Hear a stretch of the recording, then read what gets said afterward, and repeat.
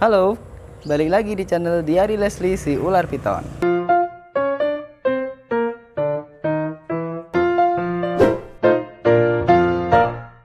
Oke teman-teman, di video kali ini kita bakalan belanjain makanan untuk si Leslie. Tonton terus videonya sampai habis ya, karena bakalan ada info-info menarik dari sahabat reptil kita. Oke, langsung aja kita berangkat ke tempatnya. Ya, kita udah sampai di lokasinya. Ini di Kota Tulungagung. Buat kalian yang rumahnya Tulungagung bisa banget untuk menemui Mas Adi, pemilik tempat ini ya. Kita lagi ada di Bipet Shop Tulungagung. Langsung aja kita masuk ke dalam.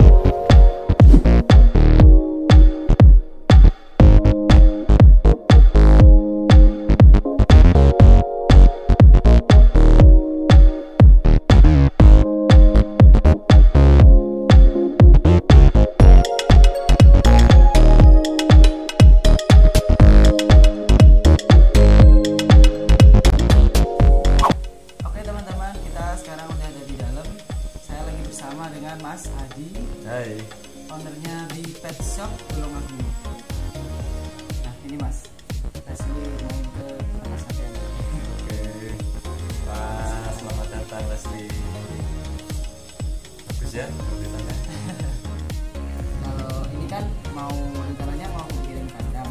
Iya. Itu kalau untuk kandang yang ideal kan harus ada hiding uh, water dish, sama substrat yang bagus. Itu kalau substrat yang bagus buat BP itu apa mas? Substrat yang bagus buat BP itu bisa pakai alas kertas. Itu yang paling simpel. Hmm, Jadi kalau yang kedua bisa pakai composite karena daya serapnya tinggi dan nggak nggak nggak sampai bau. Lebih bagus composite daripada kertas. Kalau untuk penggantiannya sendiri berapa minimal berapa? hari? Eh, hariannya nggak harus matok berapa harinya mas ya. Soalnya kalau sekali pipis baru diganti. Kalau misal tipis aja.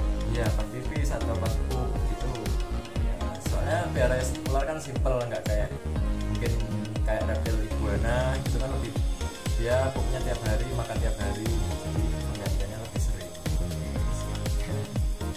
Bobojik itu bahannya bobojik itu dari batok kelapa yang dicacah jadi kotak-kotak bobojik Ah, itu fungsinya biar bisa nyerap kotoran dari si piton itu baik dari pupnya, pipisnya juga selain itu kita bisa pakai yang karpet ini lebih nyaman dan lebih modern. Misalnya dengan pipis yang bisa. Uh, lebih nyaman dilihat itu bisa pakai karpet karet kayak gini. Ya. iya bahan karet Ini eh, teksturnya lebih empuk, jadi kayaknya kalau barbecue yang empuk bisa nyaman. nyaman.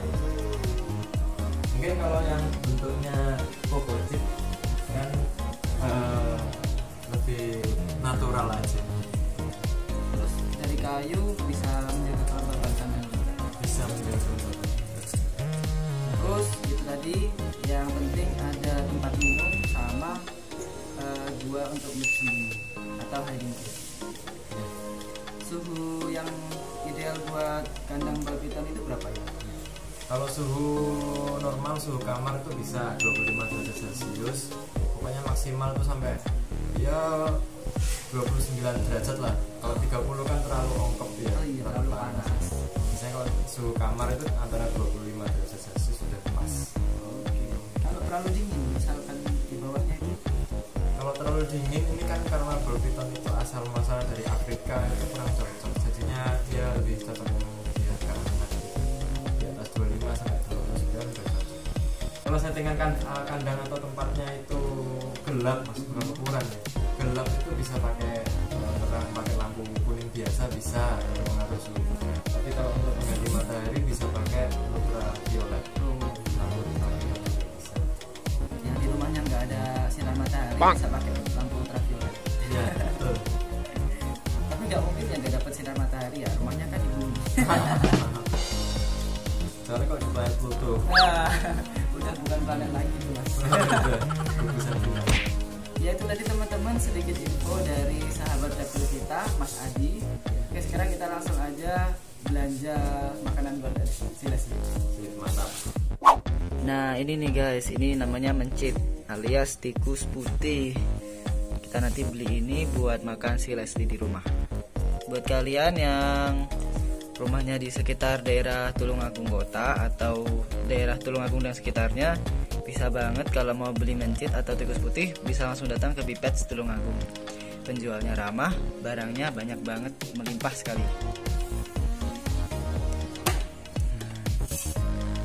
yang medium Nah, nah masuk.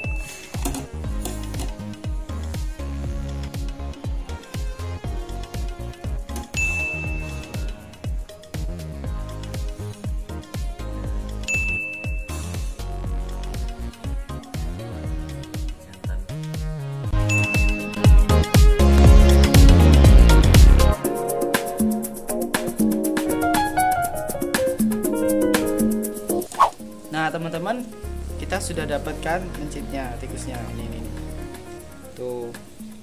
Banyak kan? Lucu. Ini eh, makanannya sangat recommended sekali ya kalau beli di Bipets Tulungagung soalnya di sini mencitnya sehat-sehat semua. Dan dipastikan ini bikin ulah kita jadi tambah sehat. Wah keren banget pokoknya. Oke teman-teman, sekian dulu video kita hari ini. Nantikan video selanjutnya. Kita akan adain Leslie makan banyak alias mukbang. Jadi ikuti terus channel Diari Leslie si ular piton. Jangan lupa subscribe yang belum subscribe. Silahkan banget untuk memencet tombol subscribe. Terima kasih. Yuk ini. Dadah.